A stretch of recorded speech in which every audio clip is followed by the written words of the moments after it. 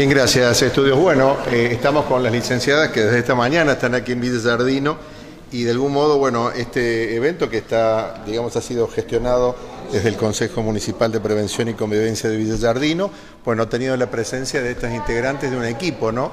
Que es del Ministerio de Gobierno y Seguridad, que, bueno, han, eh, en, distintos, en distintas edades y entre charlas diferentes, bueno, han realmente... Eh, bueno, se han congeniado eh, para trasladar muchas inquietudes de la realidad, ¿no? Eh, ya sea en la prevención de violencia para los jóvenes, bueno, muchas circunstancias que hoy hemos podido por suerte grabar y, compartir hoy eh, por las redes, pero de algún modo sintetizar el espíritu y también, como recién decían, el alimentar permanentemente, actualizar frente a que los cambios cada vez son más rápidos. ¿no? Totalmente. Hola, buenas tardes. Bueno, primero que nada presentarnos. Nosotras las tres somos licenciadas en Criminología y Seguridad. Mi nombre es Iliana Campos. Mis compañeras se quieren presentar. Bueno, mi nombre es Florencia Bustos, también soy licenciada en Criminología. Y, y yo soy Naim Jafire y comparto la misma profesión. Bien.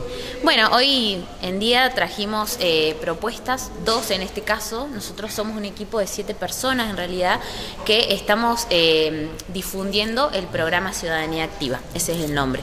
Eh, consiste en varios talleres de distintas temáticas. Esta vez nos tocó traer el taller de grooming y el taller Cuidarnos, que se llama, que es para adultos mayores, donde brindamos herramientas de prevención comunitaria y autoprotección frente al delito, a delitos más que nada cotidianos.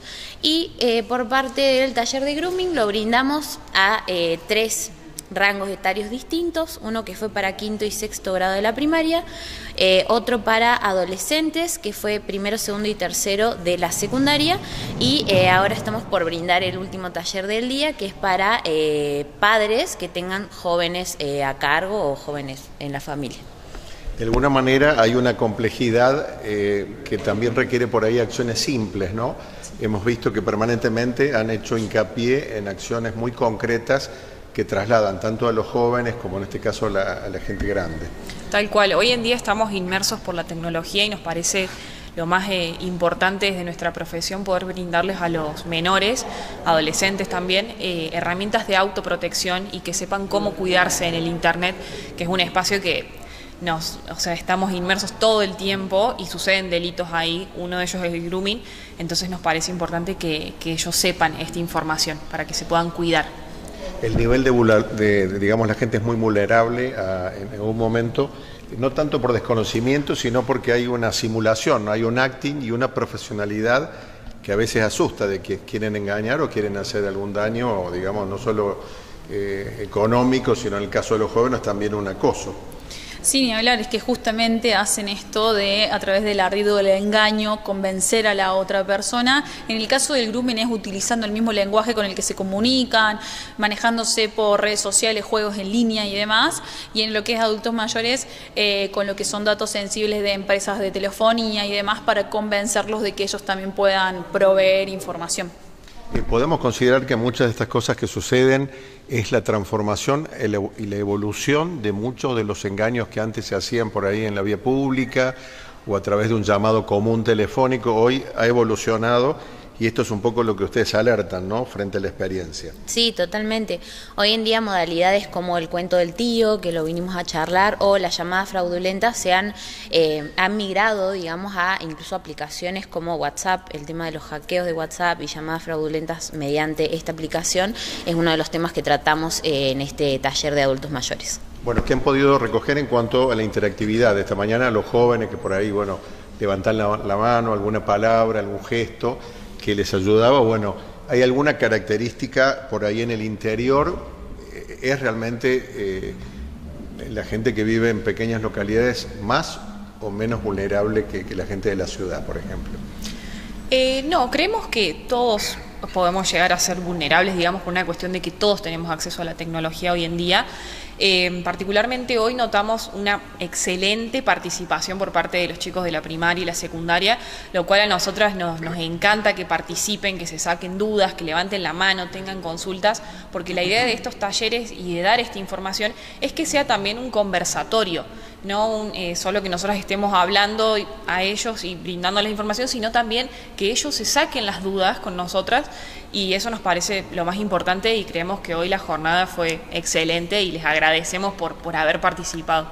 Eh, si habláramos hoy o pensáramos en voz alta, de que ustedes suplen en algún momento alguna carencia, ¿no? Que implica o que la gente por ahí vive aislada o que en algún momento, qué sé yo, puede ser, o los docentes por ahí no están muy actualizados en tecnología, lo pongo a nivel general, ¿no? Eh, o algunas entidades, como recién veíamos, que eh, tecnológicamente por ahí no han tenido en cuenta algunos detalles que pueden ser complejos. Eh, ¿qué, reflexionarían en cuanto, desde alguno de los roles de las personas, por ahí con más responsabilidad en algunos de estos sectores, deberían abordar? Hay también una, digamos, el rever mejores y mayores medidas de, seguridad? Sí, nosotras creemos que mientras más información hay y mientras más actualizados estén, ya sean los docentes, todas las entidades, mejores, porque más prevención podemos lograr con la información. Nosotros por ahí notamos de que hay desconocimiento en, cuanto al tema del grooming, pero por una cuestión de que no hay información. Es un delito relativamente nuevo, entonces lo nombramos así con ese nombre y la gente desconoce, pero cuando lo empezamos a explicar y empezamos a, desmenuzar, digamos, en qué consiste, ahí sí empiezan a, eh, dicen sí, lo he escuchado, lo conozco, eh, pero sí, nos parece importante como ayornarse, digamos, en la tecnología y lo que está sucediendo hoy en día porque nos atraviesa a todos y a todas las generaciones, así que nos parece importante brindar mucha información. ¿Qué grado de peligrosidad o, de aumento del riesgo está en aquellas personas que tienen una actitud, una actitud negativa de usar la tecnología? ¿Ellos son realmente personas más de riesgo? Eh, sí, yo creo que tiene más que ver eh, con el tema de el conocimiento y de realmente verlo como una, un lado positivo esto de conocer los riesgos, porque muchas veces el Internet no, nos genera miedo. Entonces como decimos todos los riesgos y de repente no quiero usar más las redes sociales, no quiero que mis hijos utilicen las redes sociales. Hoy en día separarnos de esta vida en lo virtual es casi imposible. Entonces lo ideal es brindar herramientas desde un lugar positivo, decir, bueno, las redes sociales y el Internet nos brindan un montón de herramientas positivas en nuestra vida. Lo ideal es conocer estos riesgos para poder desarrollar herramientas de prevención y de autoprotección a raíz de ese conocimiento. Claro, en este caso, y por ahí eh, anticipándonos la charla que, les queda, en algún momento eh, se habla mucho hoy de limitar a los chicos en la cantidad de horas frente a una pantalla. Bueno, eh, también eso imagina que genere también mucho más oportunidades de los riesgos que han estado hablando. ¿no? Claro, recién mencionabas cuál era el espíritu y creo que va un poco por eso, es la prevención y también no generar pánico, es decir, entender de que si estamos inmersos y que ya la tecnología nos ganó, bueno, la tratemos con cuidado y actuemos con cuidado. Y lo más importante también de lo que vamos a ver ahora en adelante es el rol que ellos van a cumplir, que los padres van a cumplir, de poder crear un vínculo de confianza para que el menor pueda eh, poder, digamos, exteriorizar lo que le está sucediendo en las redes sociales y cómo se genera ese acoso. Hay eh, también una pelea ¿no? permanente entre eh, la interacción de lo externo, de lo ajeno o de muchos intereses comerciales ¿no? que inciden sobre la gente y mucho más en comparación lo que incide por ahí el colegio o la familia. Esto también se considera un riesgo de, que las personas no detecten esto, ya sea por no supervisar, eh, digamos, lo que sus hijos navegan o las aplicaciones que tienen. Eh, en algún momento ustedes creen que, eh, bueno, hace falta el conocimiento y la supervisión más que la prohibición eh, eh, ¿Puede ser? Por supuesto.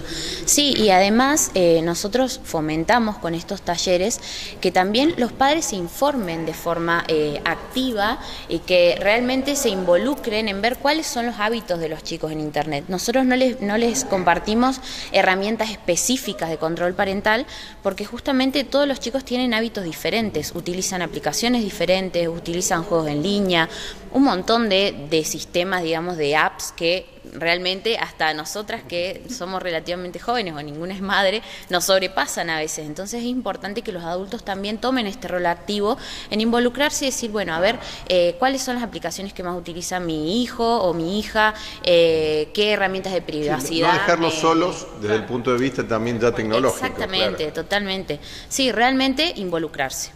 Dale, muchísimas gracias. Gracias. Muchas gracias.